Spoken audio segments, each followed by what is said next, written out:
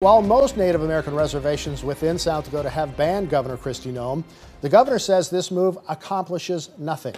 Today, KELOLAND's Dan Santella asked the governor about cartel activity in the state, then talked with tribal leadership about the governor's remarks.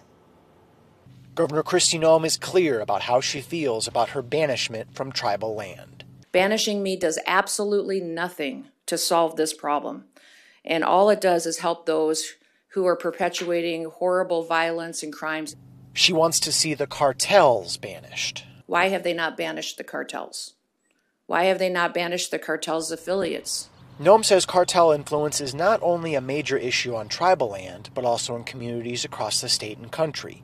KELOLAND News asked Noem why cartel activities in the state's more urban areas, like Sioux Falls or Rapid City, have had less attention we are very focused in those areas. And we've got great partnerships there with local law enforcement, with leaders there. That happens every single day.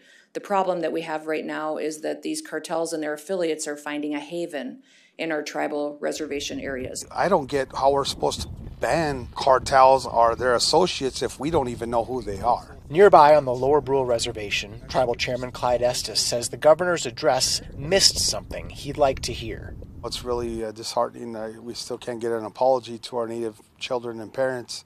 I think of out of anything, that's what we want the most.